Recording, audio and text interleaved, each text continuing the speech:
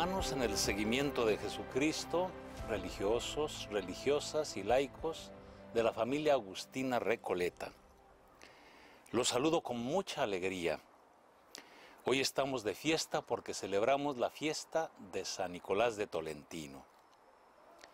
Este año 2022 es muy significativo para la familia Agustino Recoleta.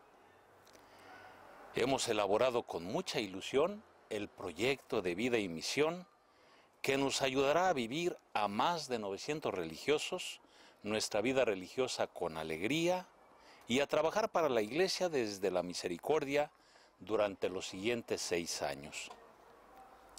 En la provincia que lleva por titular el santo que celebramos hoy, San Nicolás de Tolentino, también hemos elaborado el proyecto de vida y misión para los cerca de 300 religiosos que la integramos y que será nuestra guía para los siguientes cuatro años.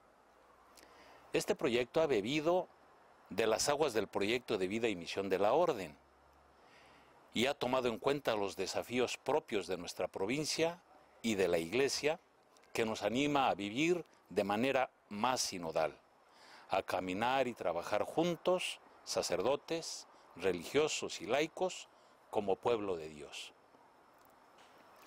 Hoy quiero poner en el centro de atención a las 46 comunidades de religiosos que formamos la provincia de San Nicolás de Tolentino, también a las comunidades de la Fraternidad Seglar y de los jóvenes agustinos recoletos, y a las comunidades parroquiales, educativas, contemplativas y misioneras con las que compartimos vida y misión. En San Nicolás de Tolentino encontramos a un modelo de trato cordial para los hermanos de nuestras comunidades. Nicolás tenía un corazón sencillo, sensible, afable, de modo que trataba a sus hermanos de comunidad y a las personas con las que se relacionaba cada día con cariño, delicadeza y dulzura. Bienaventurados los mansos, porque ellos poseerán en herencia la tierra tenemos el reto de renovar desde dentro nuestras comunidades para que sean más alegres y vitales. En San Nicolás tenemos también a un modelo de servicio fiel y caritativo a favor de la Iglesia.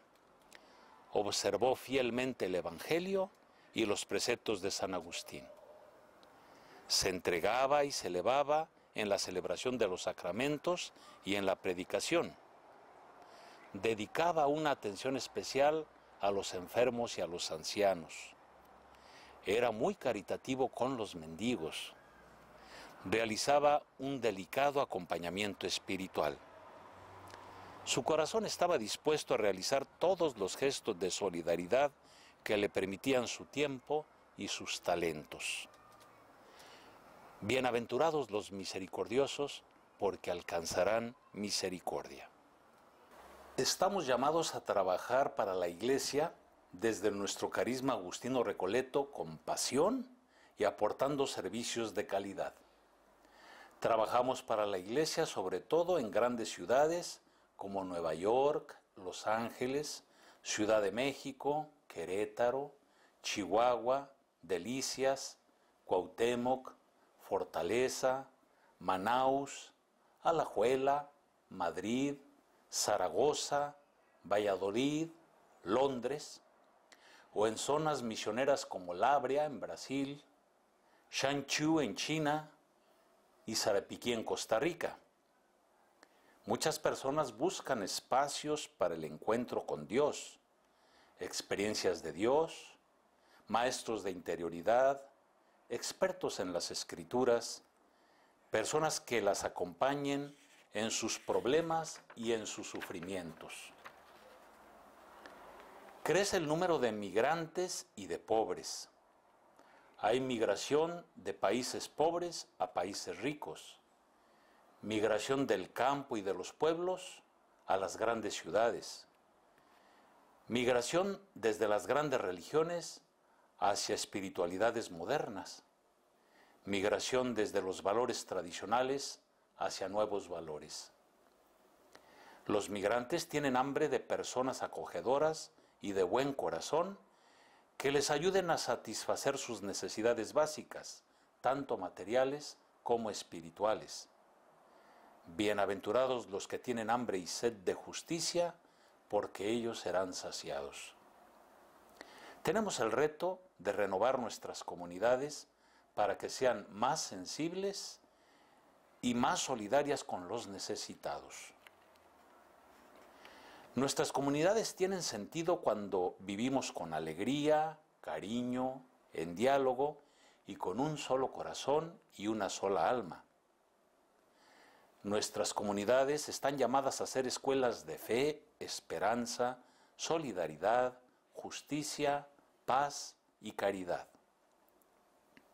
El Espíritu Santo ha impulsado a muchos religiosos y laicos para que con sus sueños e iniciativas se crearan los centros de espiritualidad Agustino Recoleta, la red Adcores, los proyectos sociales que atienden a los más desfavorecidos, el LAR Santa Mónica para niñas y adolescentes con riesgo de explotación sexual, el CARDI para quienes cuidan a sus familiares enfermos en grandes hospitales públicos, la Ciudad de los Niños para adolescentes y jóvenes con escasas posibilidades de formación académica, profesional y espiritual.